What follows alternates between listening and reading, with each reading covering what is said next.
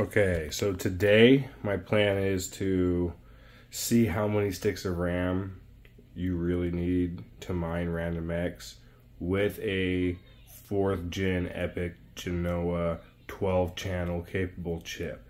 Do you need all 12 channels? Do you need 8 channels? So that's what I'm going to try to figure out today. We'll start with the thing full, see what the power draw is, see what the hash rate is, and we'll just incrementally go from there. Um, and the reason why I'm doing this is because I actually have two more of these chips coming. Do I need to spend, you know, $1,400, $1,500 on 24 sticks of RAM, or can I get by with, let's say, 12? So I am going to figure that out today. Okay, as you guys can see right there, all the DIMM sticks, and they're all populated, all 12. Um, and it's starting to ramp up in mine, so I'll let this mine for a sec, and we shall see what we kind of get. Okay, as you guys can see, 85. So 85 and a half or so. And I've been mining this for a while now, so I can tell you, it does dip down to 81, but most of the time, it's, it's at 85 and a half. So let's see the power usage you got basically 100 or 550 watts. So, and that's including fans. Those fans ramp up and down, makes that wattage kind of go all over the place. But um, it goes down into the 540s and kind of bumps up into the high 550s, the low 560s. But I'd say right around 550 watts or so is what it's at um, in in the crypto mine. It's a lot cooler in there than it is in here as well. So in Hive OS, we're getting roughly 444-ish, basically 440 per thread. So that's kind of where all the sticks lie. Now I'm gonna lay this thing down, rip out two sticks, and see what happens. So according to the motherboard instructions, you want to remove one, if you want to run uh, all but two sticks, you want to take one off each outside. So that's what we did. Let's see what happens. All right, so we're basically at so 550, still basically 550. I mean, it drops down to the low, you know, 40s. I've seen it hit the high 30s, but as it's getting warmer in this room, it's kind of staying up there as the fans are kicking up. And that is for 81 mega hash. It's been staying right, or 81 kilo hash. It's been staying right at 81. Goes up a little bit, but never goes out of the 81 mark. So, not too bad. I'd say you're saving about 10 watts um, I know that this thing's showing 550 and I said the other one was 550, but it does dip down into like the mid fours.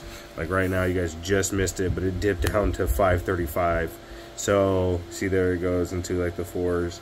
So I, you know, it's 550, 545-ish watts before I'd say it was 550 to 555-ish watts. So you're saving about five to 10 watts and you're losing roughly, I'd call it three kilohash because you're not getting 85 all the time on the other one. But uh, you know it does dip down to 81 like this uh, with all sticks but it does run at 85 most of the time with all sticks. So let's take another stick out and uh, see what happens. Oh my laptop. All right so I pulled out another two sticks. So I got a total of four sticks out and I'm actually quite surprised at the results here.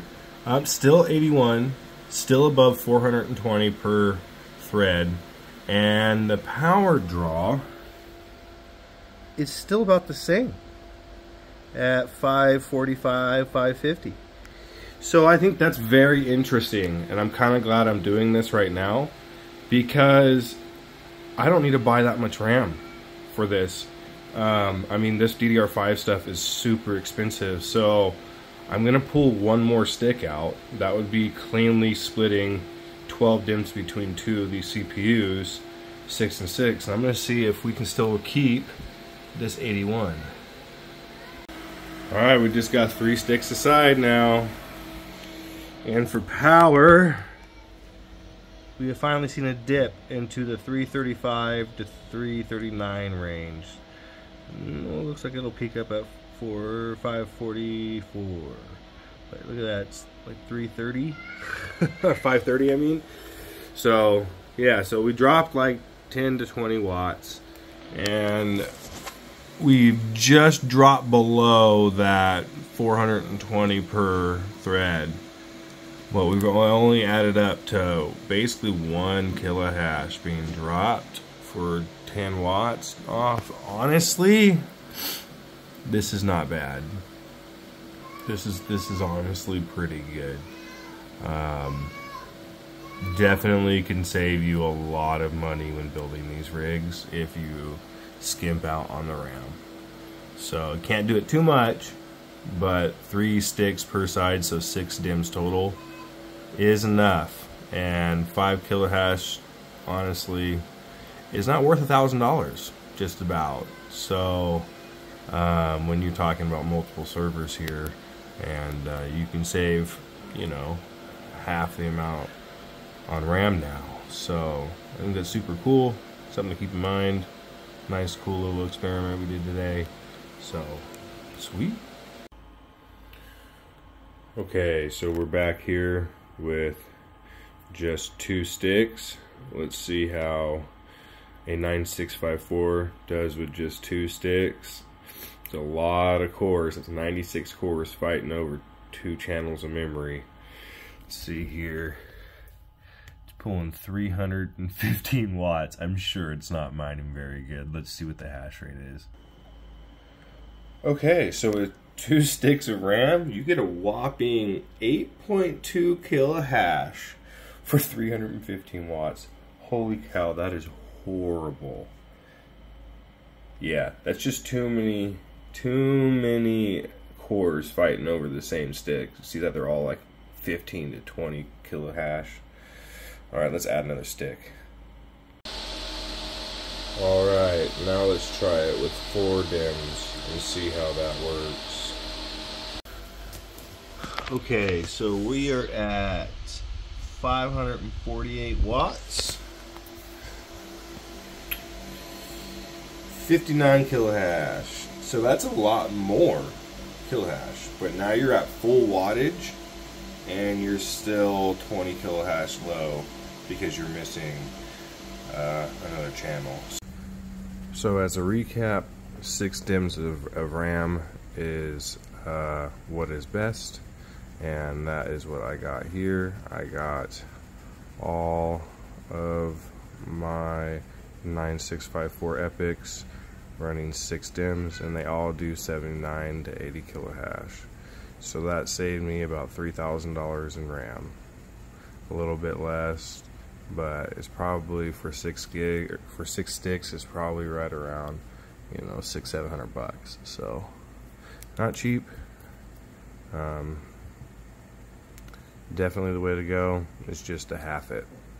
You don't need all 12 channels. Six is good enough also I ran uh, Cinebench with the six channels versus the, the 12 channels and I'll show you those results right here on the screen. So I was surprised. Apparently, um, six channels is enough. Give you guys a little tour here. 7900X. These are all the EPYCs. That's a 9654, 9654. These are all 7900Xs. And these are 5900Xs. And then all of those right there that's a 7702 dual EPYC server. The 7742, its big brother. Those are both second gen EPYCs. And then another 9654 over there. And then I got one, two, three 4070s. So those are all the updates. Pretty soon I'm to have to tear all of this down and rework all the shelving and power and everything because I'm pretty much over full already. So with all the EPYC servers in here and computers, I'm over full. So that'll be coming in the next couple months. I'll rip all this down and we're gonna redo it. I'm gonna go long ways and uh, just fill the whole place up with shelving. So, all right, guys, keep on mining and until next time.